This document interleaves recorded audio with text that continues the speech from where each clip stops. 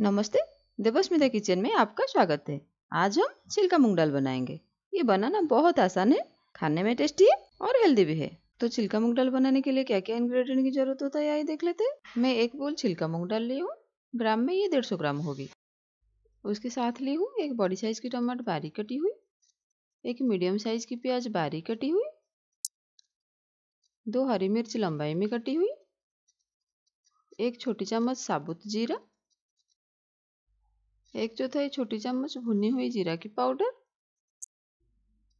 तीन चौथाई छोटी चम्मच हल्दी पाउडर, एक चौथाई छोटी चम्मच धनिया पाउडर, चार साबुत लौंग, दो बड़ी चम्मच तेल, नमक स्वाद अनुसार मैं आधी छोटी चम्मच ली हूँ। आप आपके टेस्ट के हिसाब से थोड़ी सी कम या ज़्यादा डाल सकते हैं। हरी धनिया बारीक कटी हुई। आइए बनाना शुरू करते हैं। पहले हम छिलका मूंग दाल को एक बड़ा सा बोल में डाल के उसे अच्छे से दो बार धो लेते हैं। दाल को मैं अच्छे से धो के प्रेशर कुकर में डाल दी हूँ। जिस बोल में हम डाल लिए थे, उसी बोल में नाप के चार बोल पानी प्रेशर कुकर में डाल देते हैं।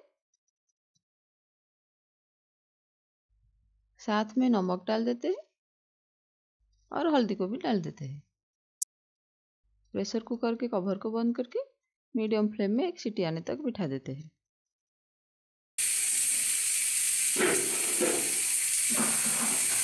एक सीटी आ गई है अभी हम प्रेशर कुकर को नीचे उतार लेते हैं और ठंडी होने के लिए छोड़ देते हैं। अभी हम दाल के लिए तड़का की रेडी करते हैं। पैन बिठा के पैन को गर्म होने देते हैं। पैन गर्म हो गई है अभी हम पैन में ऑयल डाल देते हैं और ऑयल को गर्म होने देते हैं। तेल गर्म हो गई है अभी हम इसमें जीरा डाल देते हैं। जीरा ब्राउन कलर हो गई अभी हम इसमें हरी मिर्च को डाल देते और साथ में प्याज को भी डाल देते हैं। मीडियम फ्लेम में प्याज आधा पकने तक और हल्के से ब्राउन कलर होने तक हम फ्राई करेंगे।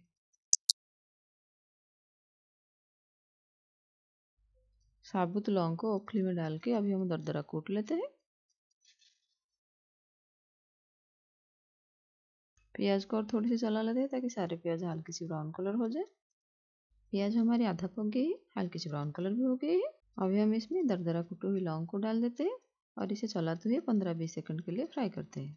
गैस की फ्लेम अभी भी मीडियम पर है, पंद्रह सेकंड हो गई है, अभी हम इसमें टमाटर को डाल देते हैं। टमाटर को मीडियम फ्लेम में हम अच्छे से पकने तक फ्राई करेंगे। इसे अभी हम कवर कर लेते हैं ताकि ये अच्छे से जल्दी पक जाए। हर एक दो मिनट में कवर को निकाल के टमाटर को थोड़ी सी चला लेंगे, नहीं तो टमाटर नीचे लगकर जल सकती है।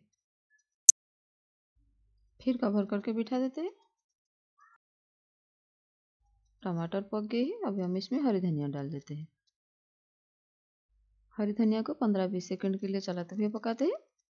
फिर इसमें थोड़ी सी पानी डाल देते हैं। मैं इसमें करीब 25 एम पानी डाली हूँ। पानी के मसाला के साथ अच्छे से मिला लेते हैं। अब इसमें हम धनिया पाउडर डाल देते हैं।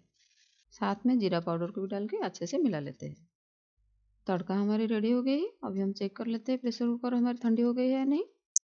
प्रेशर कुकर हमारी ठंडी हो गई है। प्रेशर कुकर से सारी गैस निकल गई है। अभी हम कवर को निकाल के डाल को तड़का में डाल देते हैं। दाल हमारी अच्छे से पक गई है। अभी हम इसे तड़का में डाल देते हैं। दाल को तड़का के साथ अच्छी तरह से मिला लेते हैं। आपको अगर थोड़ी सी पतला दाल चाहिए तो आप और थोड़ी सी पानी इसमें मिला सकते हैं। मैं करीब पचास एम पानी में प्रेशर कुकर को धो के दाल में डाल दी हूँ। इसे एक उबाल आने तक तो बैठने देते हैं। एक उबाल आ गई है। हमारी टेस्टी और हेल्दी छिलका मूंग दाल रेडी है। अभी हम गैस को ऑफ़ कर लेते हैं। इसे आप रोटी के साथ, चावल के साथ या पराठा के साथ खाइए। बहुत अच्छी लगती है। आप इसे बनाइए, खाइए। आपको कैसा लगा इस वीडियो के नीचे कमेंट बॉक्स में मुझे ज़रूर शेयर कीजिए। अगर अच्छा लगा है तो लाइक कीजिए और दूसरे को भी शेयर कीजिए। और सब्सक्राइब करना ना भूलें। मेरी वीडियो देखने के लिए बहुत बहुत धन्यवाद। फिर मिलते हैं एक नई रेसिपी के साथ। नमस्कार।